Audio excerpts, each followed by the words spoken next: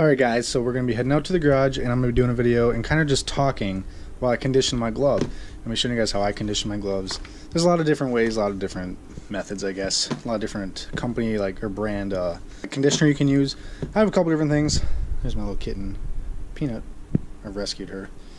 But uh, yeah, got this one. So like a glove, I just want to explain this while I'm in here quick. That's why I'm starting right here. A glove like this, that doesn't really have much use on it. Um, it doesn't really need conditioning. Uh, doesn't need oil. It's just gonna kind of. It's not gonna do anything when it's like this. It might help break it in a little bit, but I mean, this glove doesn't need any. A glove like this uh, does, and I'll tell you guys. I'll kind of explain how much I used it this season, when to condition a glove, how much use you need on a glove to condition it, and stuff like that. And uh, so let's head out to the garage here, and because uh, that's where my other gloves are that need it, because I have a couple more. But you guys do know I broke my leg this summer, so I didn't I'm st I still have to wear a tight, tight uh, sock all the way up it. I'm barely walking. um, you can see how like how swollen the whole leg is still. You can see that like you can see the whole area right there. So uh, um, I couldn't use my gloves too much this this summer. I broke my leg June 1st. Baseball season was literally May through like August. So there went my baseball season. But there's always next year. but uh, yeah, let's hit the garage. Alright guys, so out here in the garage now, uh, this is just, I'm just doing it here for the lighting. Usually I'll just do this wherever I'm at, like on the couch or something. We're in the garage, nice light on, truck in front of me. And I got a nice clean surface to do it for the video, and uh, so these are my gloves that need conditioning. Uh, we'll start up. You can see this one needs it pretty bad. It's pretty pretty dry. I don't think this thing's been conditioned in a long time. Uh, so the HK 1787. Um, we have two types of conditioners here. Got Wilson glove conditioner, which I'm going to go ahead and use.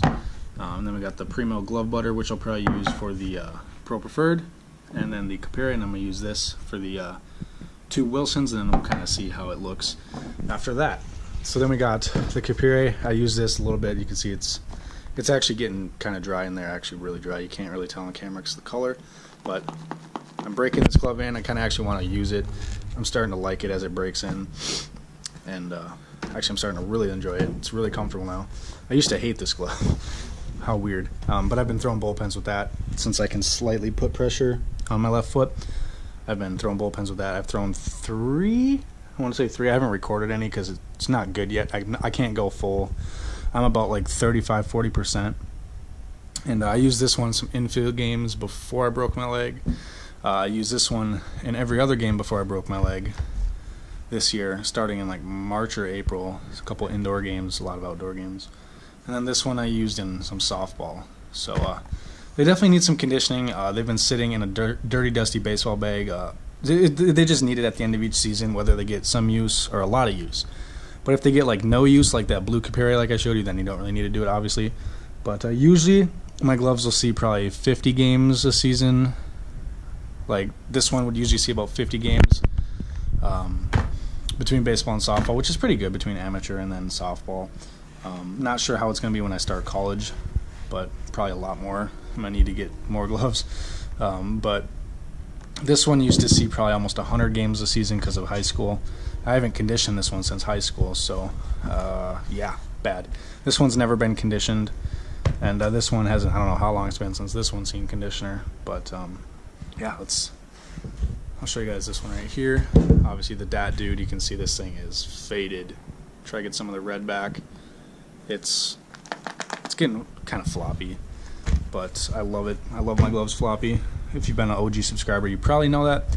So like I said, we're to use Wilson on the Wilsons, and then we're to use uh, Primo glove butter on those. I think the Primo glove butter is actually pretty pretty funny looking. Yeah, it's a little bit different texture, but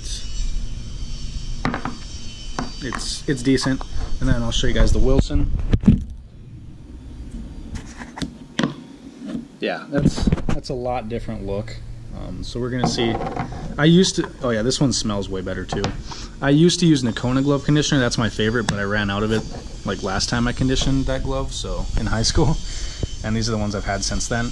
Um, And then, by the way, I do have my eye on a couple gloves I'm looking to purchase here soon. Since I started work again after you know I broke my leg, I couldn't buy anything. I had to just pay bills because I was out of work for three months, which sucked.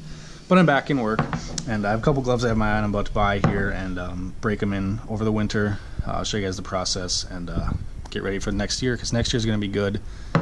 Um, I'm lifting a lot, doing a lot of stuff like that, so uh, next year should be really good for videos and baseball and playing some football too. So uh, yeah, let's get right into conditioning.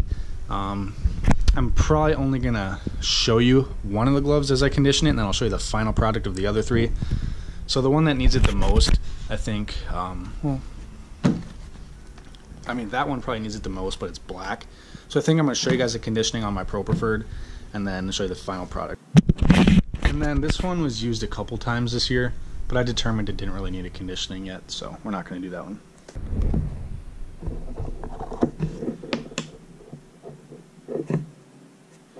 You don't really need too much either. Just take something like something like that, and then you um, just kind of rub it in to where it needs it. It's kind of hard to do this where I have the GoPro set up, but um, I'm just gonna rub it in. And uh, this glove is you can I don't know if you can hear it, but it's it's pretty dry. So I'm gonna definitely take a little bit more than normal because this glove barely. I don't think I don't know if this glove's ever been conditioned. Um, as you can see, I'm rubbing it in there in the pocket. It's getting dark. Sorry about the the lighting. Kind of sucks, but you'll see the finished product. And don't do like, unless it's like super bad, don't do the outside of the fingers. Because you have you think you, you condition a glove where it gets used. It doesn't really get used on the outside of the fingers. You can like you know use a little bit of leather conditioner or cleaner, but I really don't recommend it because then that's when the glove gets floppy. Um, I I do it. I do it in the palm, in the inside of the fingers, inside of the web, top of the fingers, up here, like like right there. you can see me rubbing it in there. Uh, like inside the fingers, like that, in the pocket, heel, basically anything inside, anything inside the glove. And then where your finger goes is a good spot because that spot will crack.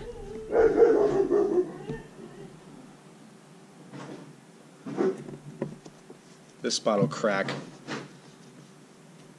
really, really quick. And then you also want to get the lining of the glove. So I'll get my phone light here so you guys can get an idea. Um, there's a little bit of cracking right there. Um, so we're going to go ahead and condition in there. Like I said, I just conditioned here. You don't need a lot. Don't use too much or the glove will get really oily. Uh, like uh, the outside of the web doesn't need it. The outside of the fingers don't need it. Just really just in there as you can see where I started. And the tops of the fingers and uh, go from there. So I'm just going to go ahead and start doing it. You guys can see as I do it and we'll go from there.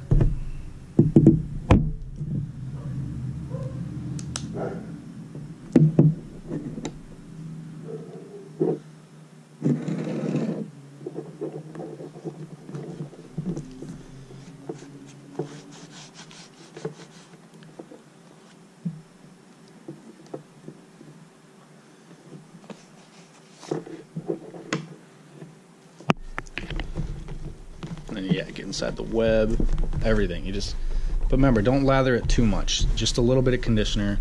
Unless the glove's really bad, then go ahead and then go ahead and give her the beans. But um, otherwise, I don't really recommend it. And there's people who use like toothbrushes and stuff, and I think that's overkill. Just use your just. I, know, I think that's weird, honestly. It's good for like cleaning logos and stuff, like, but I really just think you just need to go like this the lacing up here. You don't want that to get too brittle. Um, like Wilson's come from the factory. but yeah, make sure you get up here really good where your finger goes because that spot is like, unless you go finger in, then make sure you get inside the finger stall. But and I always just use kind of one finger. It's easier to get into places. That's what she said. no, but um, in the finger stalls. You, I mean, really wherever your hand touches or wherever you get use, condition it.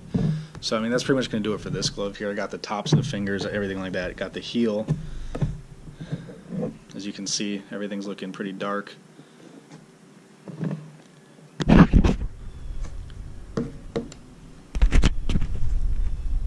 Yeah.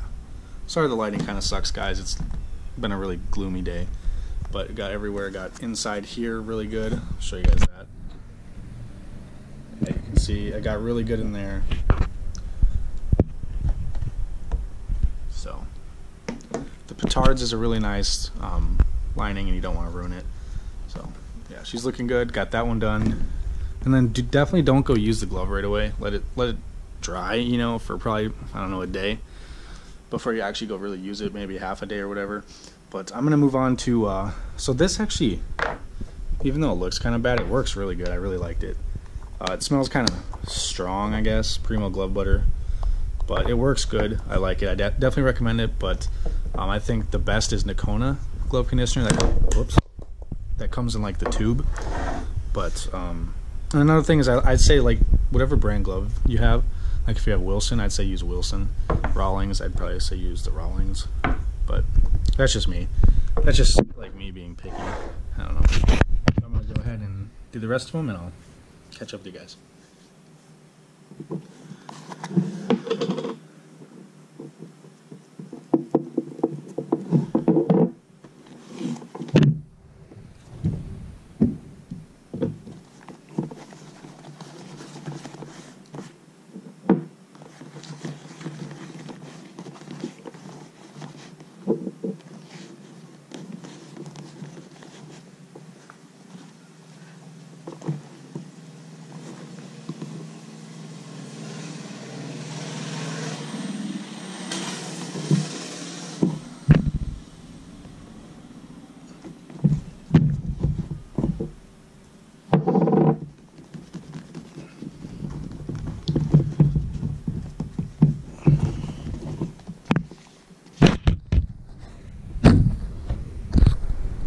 All right, so we got this in condition. You can see it's kind of glowing right here. I conditioned the fingers, liner, and inside here.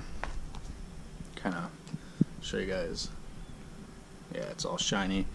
More of a dark, deep black now. So that's pretty good. Like I said, don't need nothing crazy thick. Even though the outside of the fingers are wearing, it's not too like it's not dry or anything. Uh, so like when you're done, you should maybe just like wipe your hands on it with like the or the excess uh, conditioner. But outside fingers aren't really needed unless they're really scun up or something. This glove only needs it right there and right in the pocket. Um, so I'm gonna go ahead and do that quick. I'm just gonna use Wilson conditioner for this one too. Why not?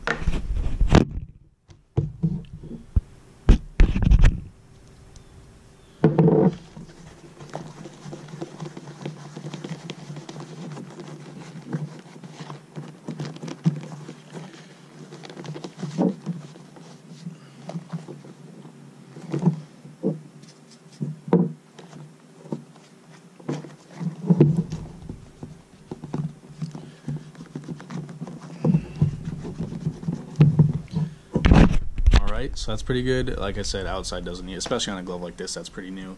But you can see, got her in there looking pretty good. Got her right there, and a little bit in here too. And then last up, this one's going to take a little bit more time, as it is old. so yeah, here's a good look at the leather. We'll use right here as a demonstration of before. So I'm going to go ahead and condition this one, probably the full glove. Uh, might do the outside, I don't know, it's kind of bad, so I think I might do the full thing. Catch you guys in just a second.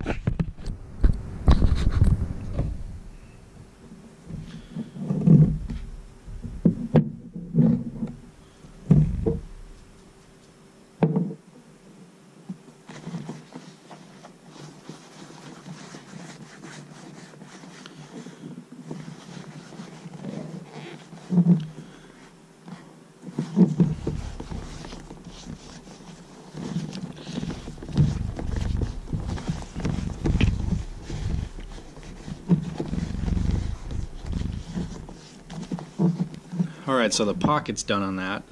Everywhere is good. Top of the fingers are good. Heel's good. Um, move to the liner. Honestly, I might not even include any music in this. I might just let you guys hear like the good old sounds of conditioning the leather. I don't know. Some people might enjoy that. I don't know. Next time I'll make sure to do this video like outside when it's sunny but for better lighting. But you know, this will do, right? At least you kind of see how I do it, and like I said, the outside doesn't need crazy amounts, just light, light, light, just to give it a little conditioning. Like, see, even the fingers on this old glove are still shiny uh, once you get the dust off them. So just, honestly, just like a light, light coat. But um, for the most part, I think that's pretty good. Oh yeah, check this out, guys. Look at that leather. Oh yeah, it's coming back for sure. All right. So that's pretty much going to do it, guys, for the video on how I condition my baseball gloves, just talking A couple gloves I do have coming in the mail soon, but this channel is going to turn more towards like kind of my personal gloves. I'm not really collecting gloves anymore. It's going to be more like like actual base, baseball videos, and um, I will be buying new gloves, obviously, but when I actually use them, I'm not just going to buy them to have gloves. Um, I'm going to buy them, the ones that I want to use, and then give you guys updates on them, how I can use stuff like that. You know, um, what I think of them. So definitely like, comment, subscribe, guys. Stay tuned for more videos. And uh, I, I really like the Wilson glove conditioner. Uh, it's good, but I think the Primo is even better. Actually, I like that a lot. So uh, definitely try them both. They're both really good products. I think they're I think they're anywhere from like eight to ten bucks a piece. Same with the Nokona conditioner. I think the Nokona might be like ten or twelve, but it's really worth it. So definitely get conditioner if you don't have it, guys. It's worth it. It pro prolongs the life of the leather. Uh, if you just have cheaper gloves like gold gloves, it's just gonna make them floppy. But if you have anything like newer, even so, it's still worth it because it may, prevents it from cracking. So even like a gold glove or whatever, I recommend it. But anything like under that, you don't really need to condition it. Just kind of whatever, whatever. Um, but uh, yeah, so like, comment, subscribe, guys. Stay tuned for more videos, and I'll see you in the next one.